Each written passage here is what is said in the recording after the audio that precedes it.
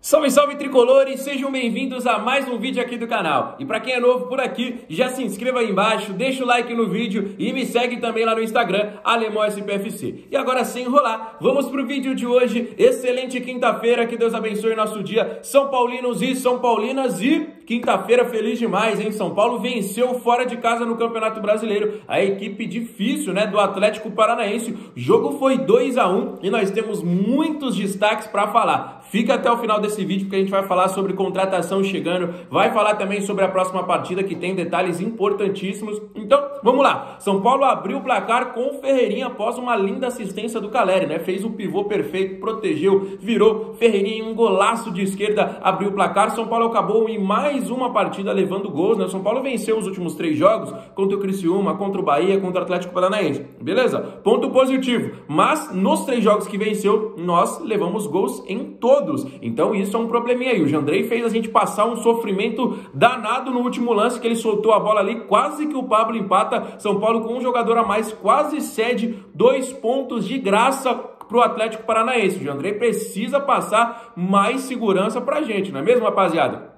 Mas o ataque definiu, né? Depois o Calera, após uma bobeada da zaga, acabou aí dando números finais a partidas. Ele quase não faz, saiu sozinho, chutou. O goleiro fez uma defesaça, beleza. E no rebote, o Calera acabou aí marcando, né? Então, muito legal. Calera e Ferreirinha fazendo gol pelo segundo jogo seguido, né? Até porque eles tinham feito contra o Bahia, fizeram contra o Atlético Paranaense, mas os dois levaram o terceiro cartão amarelo e estão suspensos para o próximo jogo. Ferreirinha tomou mais um cartão besta, né, rapaziada? Contra o Bahia, ele fez o gol, tirou a camisa, amarelo. E ontem ele estava sendo substituído, um jogo estava entre aspas até um, um certo quanto tranquilo, enrolou para sair, tomou cartão e está suspenso. Na melhor fase dele, né? Tá jogando muito, vencendo um dos principais jogadores do São Paulo. E aí é suspenso para o próximo jogo. Um grande desfalque. E além dos dois, o Zubeldia, mais uma vez tomando cartão vermelho. Ele voltou de suspensão justamente contra o Atlético e aí foi expulso e tá fora agora contra o Bragantino. E o Cubeiras, né, que é o seu auxiliar, que comandou contra o Bahia,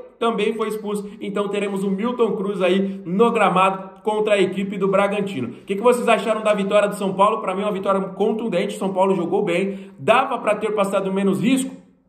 Na minha visão, dava, mesmo sendo fora de casa, com pressão, estádio maravilhoso, o estádio é, empurrado por muita gente, né? A torcida do Atlético fazendo um espetáculo, mas na minha visão dava para o São Paulo ter passado menos risco, mas o que importa a gente conseguiu. Foram os três pontos. Neste momento estamos no G4, a seis pontos do líder Flamengo. Podemos ser ultrapassados hoje pelo Bahia, mas nós estamos na briga. O que, que você acha? Tá quase chegando aí a reta final do primeiro turno. Dá para o São Paulo sonhar com o título? Na minha visão, dá. Apenas seis pontos. Repito, seis pontos nós estamos da equipe do Flamengo. Na minha visão, dá para sonhar. Precisa ser mais consistente, mais contundente, matar os adversários, não sofrer igual sofreu, perdendo para Vasco, sendo goleado, perdendo para o Cuiabá em casa, empatando um jogo que não era para empatar com o Corinthians. Então, esses pontinhos, obviamente, fazem diferença mas nós não podemos deixá-los no caminho. E se a gente quiser brigar por título aí, temos que conquistá-lo todos esses. E o próximo jogo do São Paulo, como eu disse para vocês, é contra o Bragantino neste próximo sábado. E uma informação importantíssima de agora já, ó, a CBF alterou o horário do jogo. O São Paulo iria jogar com o Bragantino às 9 da noite neste próximo sábado e agora o jogo será às 8 da noite, tá bom? Então, trocou o horário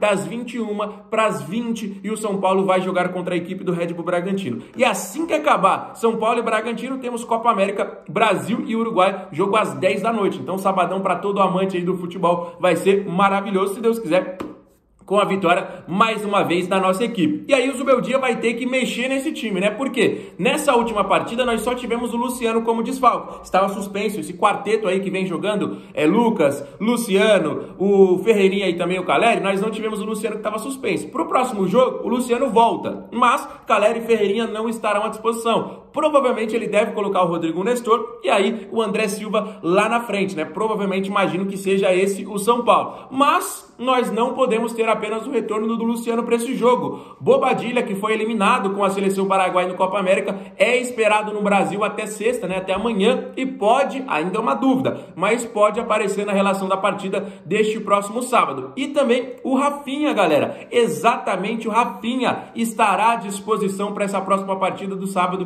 vai vai ficar nas mãos do Zubeldia, mas o jogador já está recuperado de lesão. Então, boas notícias aí para esse próximo sábado, apesar desses desfalques que nós vamos ter. Combinado? Outra informação muito importante. Ontem quem acompanha o canal alemão já sabia, mas ontem tivemos aí o Alexandro assistindo a partida entre Atlético Paranaense e São Paulo lá na Liga Arena. Mas só esclarecendo mais uma vez para vocês e confirmando a informação que a gente tinha trazido no vídeo de ontem aí, o jogador foi convidado do Atlético Paranaense. Para quem não sabe ou para quem não se lembra, ele é revelado pela equipe e foi profissionalizado por lá. Então ele estava na capital e foi convidado pela equipe do Paraná. Não foi um convidado do São Paulo, mas sim ele segue interessando ao tricolor, tanto que o Belmonte deu uma entrevista para a Casé TV falando justamente sobre este interesse. E vamos falar sobre o Thiago Mendes, exatamente o Thiago Mendes, que pode estar de volta à equipe do São Paulo já nesta próxima semana. Informação aqui de última hora, uma bomba confirmando aí que está muito, mas muito próximo do Thiago Mendes ser novamente jogador do São Paulo. Então ele está de volta. O jogador, ele se acertou com a equipe do São Paulo, contrato de três anos e agora restam apenas detalhes finais para que o São Paulo se acerte com a equipe do Al Rayyan do Qatar. Vale lembrar que a janela de transferências está muito próxima de ser iniciada, né? Hoje é dia 4 de julho, a janela se inicia no dia 10, então daqui seis dias, pouco mais aí é, de cinco dias, a janela se inicia e o São Paulo deve ter a confirmação do volante Thiago Mendes de volta, né? Ele que passou aqui em 2015 e 2017, depois foi para o futebol francês, jogou muita bola no Lille, jogou muita bola no Lyon, inclusive encarando aí é, de igual para igual a equipe do Paris Saint-Germain, é um clássico muito forte por lá.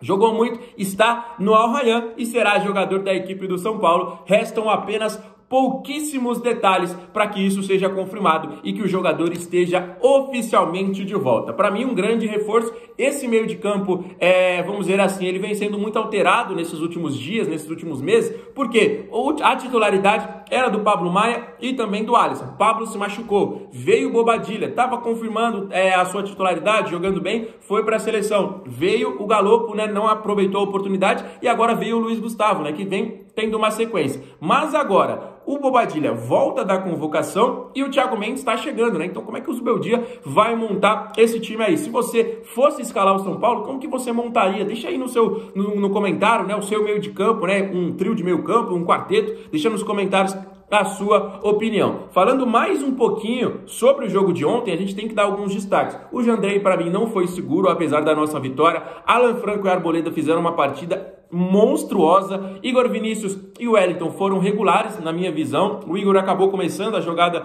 do primeiro gol, mas falta um pouquinho mais. Meio de campo, Alisson jogou muita bola, rapaziada. Alisson e Alan Franco estão jogando muito. Wellington Rato apagado, Lucas Moura apagado. E aí, destaque aí pro Caleri e também pro Ferreirinha, que foram os autores dos gols, mais uma vez, e que trouxeram esses três pontos para casa. Caleri brigador, o Wellington cavou uma expulsão do goleiro, né? Um lance é, totalmente, vamos dizer assim, de malandragem do futebol do Wellington. O goleiro acabou agredindo o jogador e foi corretamente expulso. Inclusive, ele mesmo, né? É, admitiu o erro após a partida na sua entrevista. E o São Paulo acumula mais três pontos no campeonato Campeonato Brasileiro. Então, a gente volta do Paraná na bagagem com três pontos importantíssimos que pode nos fortalecer demais, demais, demais neste Campeonato Brasileiro. Obviamente, a gente não pode passar por momentos conturbados e turbulentos igual foram nessas últimas partidas aí, aquele empate contra o Corinthians, o empate contra o Internacional dava para ter vencido, aquele gol contra o Caleri pode-se dizer que foi até mal anulado, mas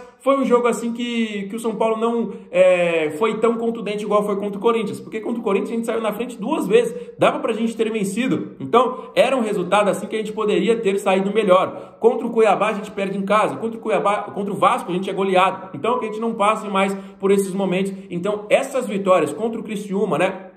Com aquele golaço do Lucas Moura, é, do Luciano, desculpa, de falta, né? Um gol do Alisson também. Vitória contra o Bahia, muito bem. O Bahia jogando um futebol lindo de se ver. E o São Paulo foi lá e fez 3 a 1 Poderia ter feito até 4 a 1 com aquele golaço, mais uma vez, do Caleri, que poderia não ter sido anulado. E agora, essa vitória fora contra a equipe do Atlético Paranaense, que foi muito, mas muito importante mesmo. Então, deixa aí nos comentários o que, que você acha sobre esta partida e se você for novo por aqui, não esquece de se inscrever aqui embaixo, tá bom? Fechado, rapaziada? Compartilha com todos seus amigos esse vídeo, curte aí pra gente dar aquela moral e fiquem com Deus. Um abraço e valeu!